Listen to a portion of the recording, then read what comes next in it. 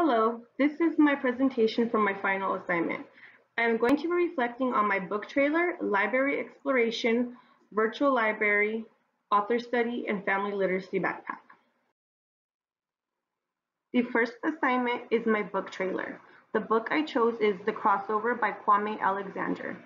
This was definitely a new learning experience and was by far the most challenging assignment. I have never done a book trailer before, so this was all new to me, and I found it difficult to not to summarize the book without giving too much detail or the ending.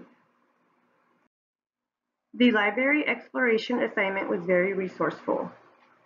The websites I researched are Oxford Owl, Epic, and Storyline Online.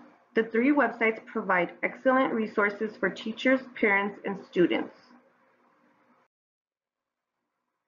The virtual library was a bit challenging as well because I have never composed a library before, let alone knew how to use Google Books. This assignment was also a knowledgeable experience because I learned about different genres and books I can read in my future classroom. The author study is the assignment I am most proud of because I was able to learn so much about my author, Dr. Seuss.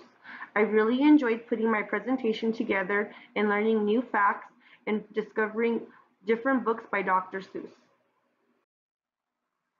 My family literacy backpack is an assignment I am proud of and feel best represents me as a teacher. I enjoyed researching books and activities for my bag. I also feel like the items in my bag would bring a smile to any child. The bag would be a great addition to any kindergarten classroom. Thank you. I hope you enjoyed my presentation.